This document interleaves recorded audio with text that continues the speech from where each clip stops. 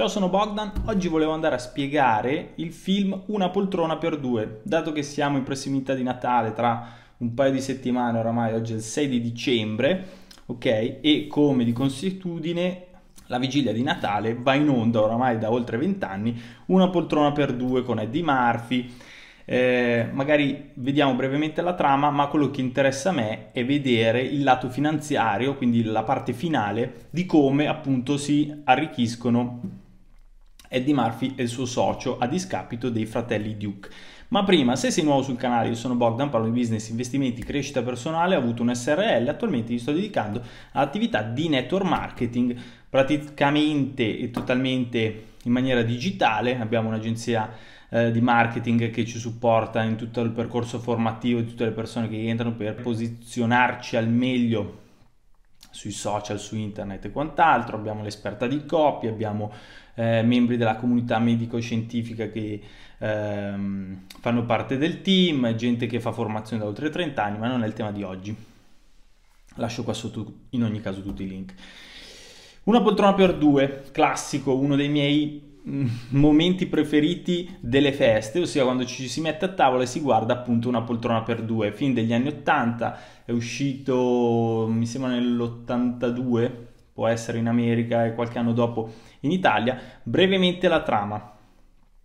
Allora, protagonisti eh, sono Winthorpe e Valentine. Valentine è eh, appunto eh, Eddie Murphy, il quale è un senza tetto l'altro è un dirigente di una società, la Duke Duke, appunto, dei fratelli Duke, eh, che opera sui mercati finanziari.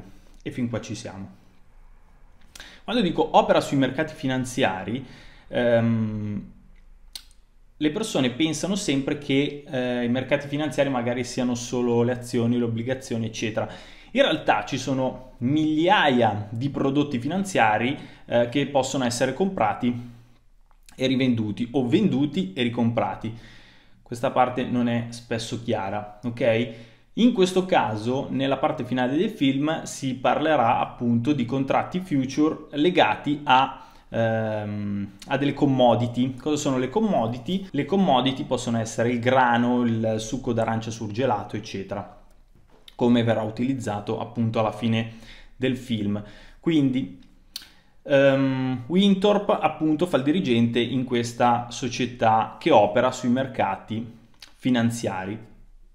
Eddie Murphy è un senza tetto. Cosa succede? Che per una casualità questi due si scontrano, si incontrano la prima volta. I eh, datori di lavoro, i fratelli Duke, vedono questa scena e siccome avevano delle idee eh, sociali eh, in merito, decidono di fare una scommessa, ossia prendono il, la persona benestante, quindi il dirigente della loro azienda, lo mettono al posto di Valentine, quindi lo fanno diventare un, uno squattrinato senza un soldo e prendono Valentine a dirigere la società. Secondo uno dei due fratelli l'ambiente motiverà e potenzierà la persona presa dal nulla, L'altro invece dirà no, eh, guarda che è una sciocchezza, è una cosa di DNA, se uno ha le capacità può eccellere in qualsiasi eh, ambiente e, fare, e arrivare al successo. Questa è un po' la trama, ok?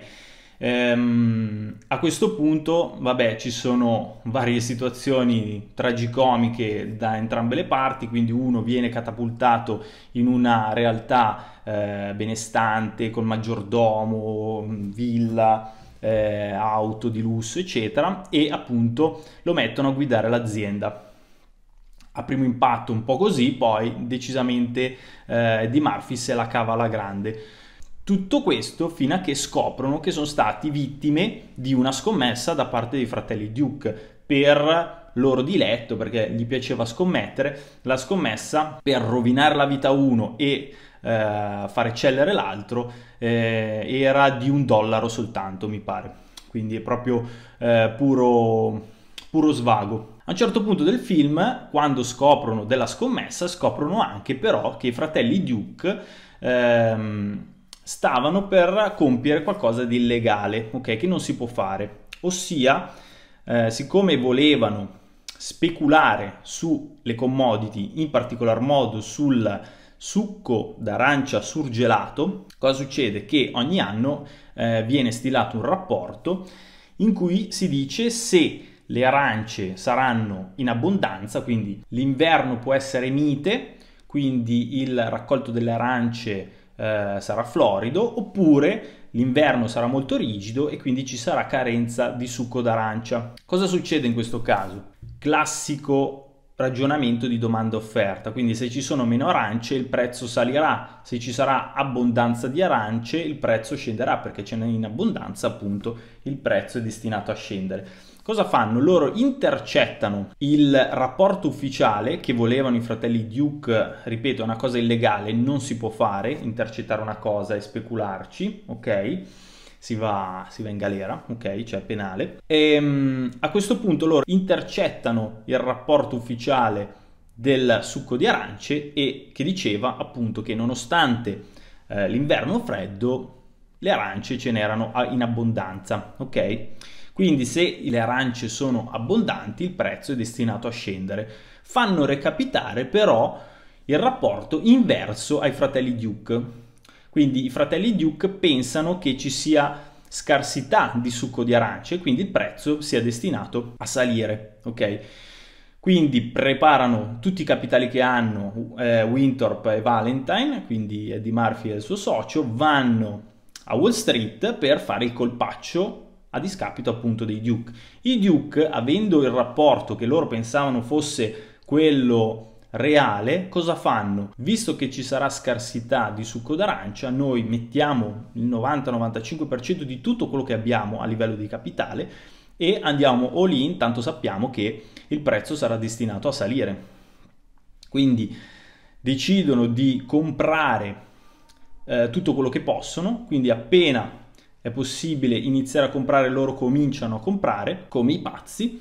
Eh, poi c'è una scena molto eh, carina, molto anni 80, della borsa che, in cui si urla, si, si saltano, fanno, eccetera. Eh, adesso ovviamente è quasi tutto eh, digitale, quindi non c'è neanche bisogno di fare tutto quel caos.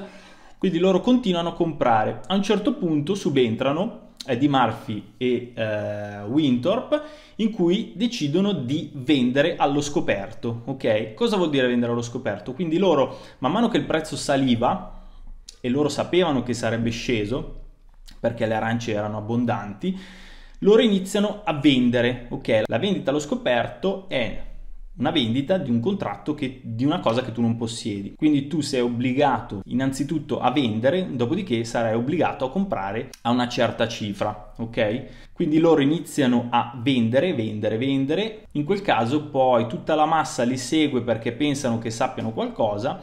A un certo punto, quando arrivano quasi al minimo, cominciano a riacquistare le posizioni. Solitamente prima acquisti e poi vendi. In questo caso, nella vendita. Ehm, allo scoperto il contrario, quindi prima vendi e poi acquisti, concludendo di fatto il contratto. Cosa succede? Che i fratelli Duke hanno messo quasi tutto il loro capitale per una cosa che è andata eh, al contrario di come si aspettavano. Quindi le percentuali che hanno perso i fratelli Duke le hanno guadagnate eh, Winthorpe e Valentine, quindi li hanno resi eh, alla fine della fiera molto ricchi al di là del film di per sé, quindi della, della comicità del film, è carino vedere eh, anche come funzionano di fatto tutti i giorni i mercati finanziari. Quindi da un lato ci, ci sono persone che perdono soldi, dall'altro lato ci sono persone che guadagnano soldi.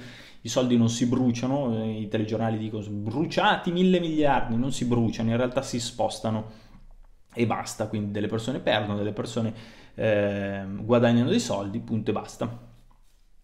Questa era la mia spiegazione per una poltrona per due, non mancatelo, così magari fate anche bella figura a tavola, eh, spiegando appunto come Eddie Murphy guadagna eh, e poi alla fine diventa milionario. Piccola chicca, quattro anni dopo, nel Principe cerca moglie, i due fratelli Duke fanno i senza tetto e eh, Eddie Murphy quando passa, c'ha un malloppo di banconote, glieli dà e appunto questa eh, questa scena richiama il, una poltrona per due.